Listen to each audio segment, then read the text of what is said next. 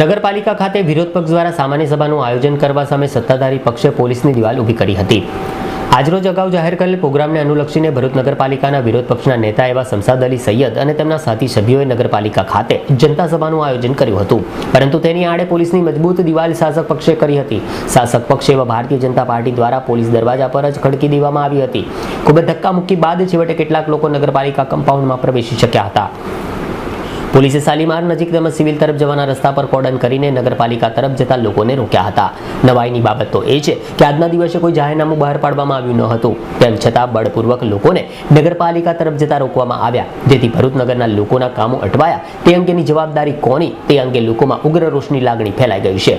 ભરૂચ નગરમાં આજના દિવસના બનાવના તીવ્ર પ્રત્યાઘાત પડ્યા હોય તેમ જ્યાં ને ત્યાં વિરોધ પક્ષ આયોજિત જનતા સભાની વાત ચાલી રહી છે.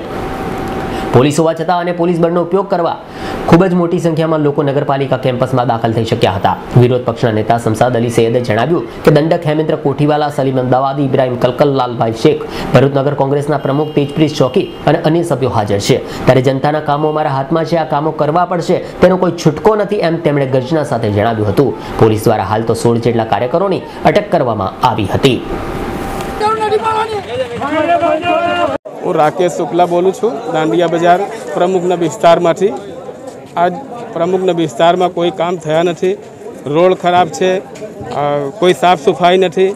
માંસ મચ્છીનો પેલો વેચાણ થાય છે ત્યાં એનો કોઈ નિકાલ નથી. જ્યાં ત્યાં બધું પ્રદૂષણ ફેલાયા છે. અને અમે તો માંગણી કરેલી કે ત્યાં દાંડિયા બજારથી મચ્છી માર્કેટ હટાવવા હટાવવાની પણ કરી છે. આટલી બધી ગંદકી છે. એમના એરિયા પ્રમુખના એરિયામાં જ આટલી બધી ગંદકી છે કે ના પૂછો વાત. બીમારી તો સાઈડમાં જતી રહેલી છે. અમે તો અમારી માંગણી માટે જ આવ્યા છે કે અમારા વિસ્તારોમાં કોઈ કામ થતા નથી. તો અમારા આ ભાજપ સરકાર કે આ નગર મહાપાલિકા પ્રમુખથી અમે નિમંત્રણ કરું છું આમંત્રણ કરું કે તમે અમારા તમારા આવો અને જુઓ કે અહીં કેવી રીતે માણસ રહે છે. બધા જુઓ તમે. અને પછી બધા જુઓ અને એનો કંઈ નિરાકરણ લાવો. ગરીબ માણસનો થોડા ધ્યાન આપો. ગરીબ માણસ આમ મરી ચાલ્યા છે ભાઈ. બરાબર?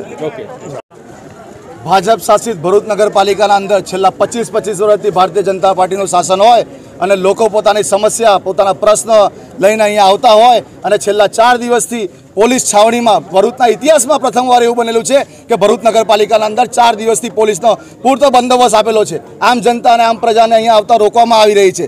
ભાજપના હું શાસિક શાસક પક્ષને કહેવા માંગુ છું, જો તમને આ વિકાસના કામો કરેલા હોય તો આટલી બધી ડર કેમ લાગે છે? જનતાની ડર લાગે છે. જનતા પોતાના આજે જનતા સભાના અંદર પોતાના પ્રશ્નો લઈને આવેલી છે. એ પ્રશ્નોમાં પ્રશ્નો સાંભળવાનો બી તમને સમય નથી. પોલીસને અહીંયા ઊભા રાખીને પોલીસ દમન ગુજારીને તમે જે જનતાને અહીંયા આજે રોકવામાં જે રોકવામાં આવેલી છે તે આજે કાળો દિવસ તરીકે અમે વિપક્ષના સભ્યો આજના દિવસને કાળો દિવસ ગણાવીએ છીએ.